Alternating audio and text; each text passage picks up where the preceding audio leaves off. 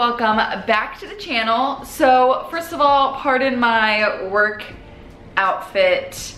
I'm going to work literally right after I film this. This video is something I wanted to film for years and I finally have the opportunity to do it and I'm very excited about it and of course what I'm talking about, what you guys saw in the thumbnail is that I'm opening a brand new iPad and Apple pencil. So I am super excited to be able to do this for you guys today. I have been through hell and back with this package. I ordered it a week ago on July 19th. It was supposed to be here this that Wednesday and didn't show up. UPS actually lost my package, so I had to file an investigation with Apple and they just sent me the replacement one that just got in today. So I am very excited to show this for you guys, let you know what I think about it. But let's go ahead and hop into this unboxing. Okay, so first things first, the edition that I did get, I got the Apple iPad Air Generation 4. I got it in the green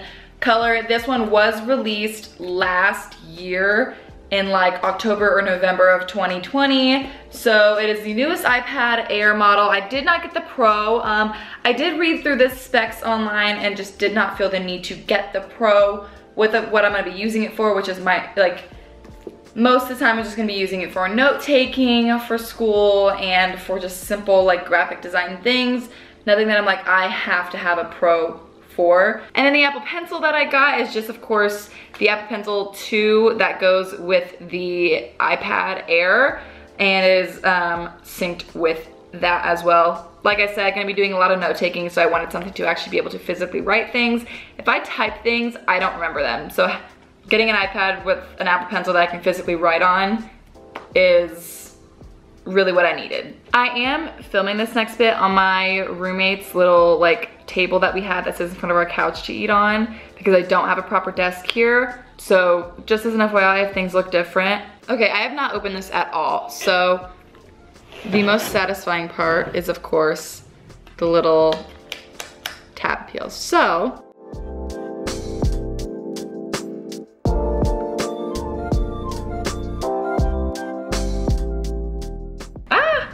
Okay,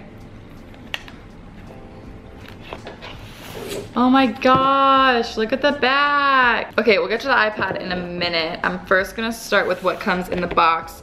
So of course there's that little instruction, like manual warranty stuff that comes with it. And then it does come with a charging brick and then the cord, which I believe is, yeah, just like a USB-C, which is what all of the MacBooks use so I could also plug this into my MacBook charger. Okay, so that's as far as like stuff in the box. So I'll move this out of the way. And we have our iPad. So I guess really it's time to open her up.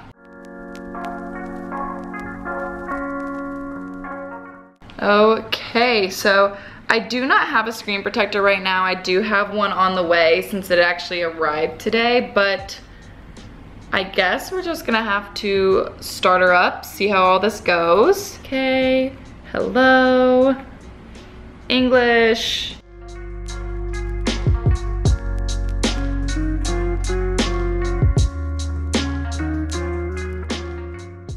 Yay, okay, setup is fully done. We are open. It is just your generic stuff in here.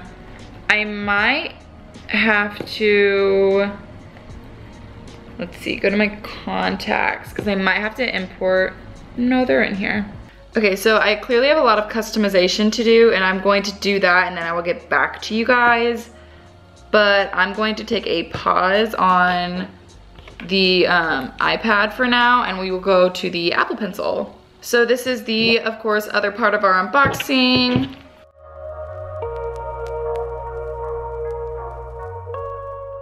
Ooh, This is the first ever Apple Pencil and iPad I've ever had, so I'm not entirely sure what all comes in here. Oh my gosh, there's a lot of like safety and handling warranty stuff that comes with the Apple Pencil. Holy heck. All right, so there's not a ton, but here itself is the actual pencil. Oh my gosh, I love how it feels in my hand. That is so fun. Okay, so I think you just do that. Okay,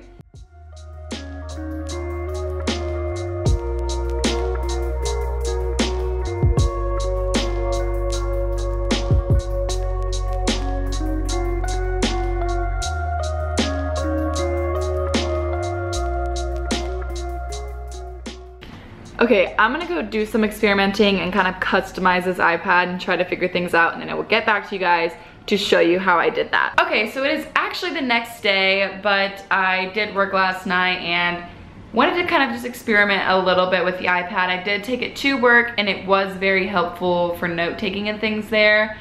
I still have a lot of things to learn, but as of right now, very basically, this is what my iPad is looking like.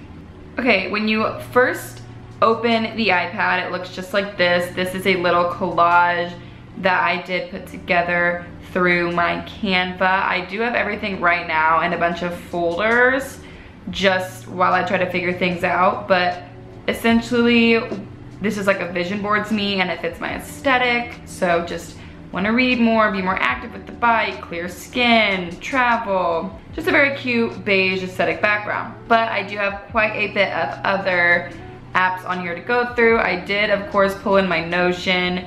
This is, for those of you who don't know, the app that I use to plan a lot of my life. I do have a bullet journal that I like to use. I like to have a physical thing to plan in as well. But as far as like on the go, this is the app that I use. I do have a whole video on that. And I'll just go through kind of how I arrange it. So utilities just has like the generic apps that come with your iPhone essentially. And then I did down download Widgetsmith. I'll show you where those widgets are in just a moment. Socials, as of right now, I just have Facebook, Twitter, and Pinterest. The Instagram looks weird, so I didn't end up downloading it or keeping it downloaded because it's like formatted for the phone and not for the iPad. So I will experiment with the socials tab, find some other things see if I can do anything about that. But this is in there for now, just my Facebook, Twitter, and Pinterest, which are all linked in the description down below. So make sure that you go actually check those out.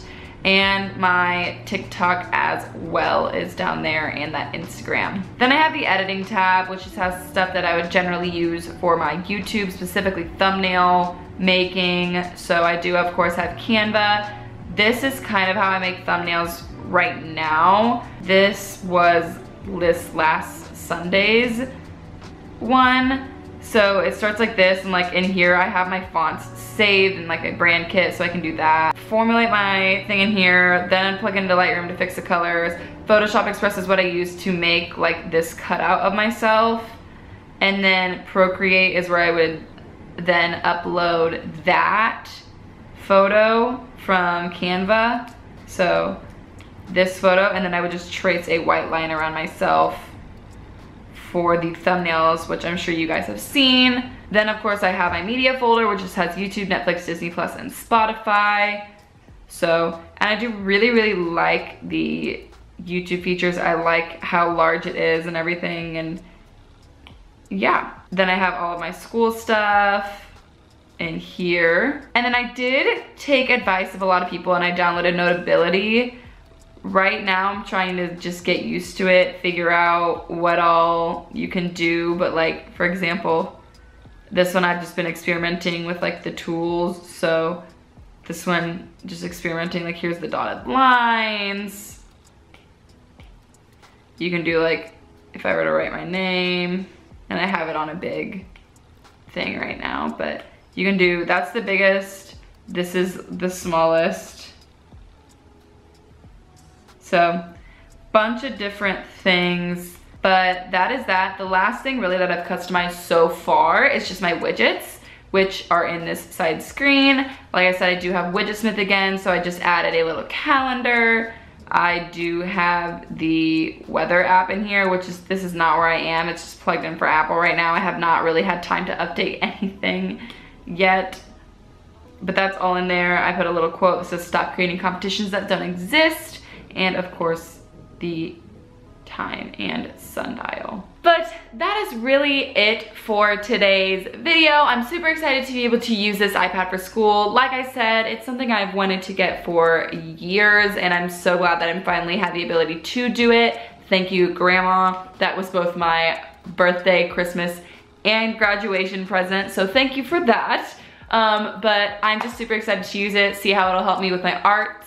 Um, I do believe I'm getting something for my birthday that I can make designs for. So stay tuned for that. So yeah, but like I said, this is really it. As far as the iPad goes, I do love the iPad. I think the screen is a really good size.